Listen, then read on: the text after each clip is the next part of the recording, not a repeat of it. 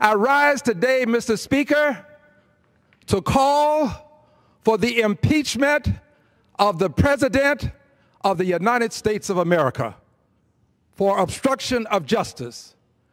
I do not do this for political purposes, Mr. Speaker. I do it because, Mr.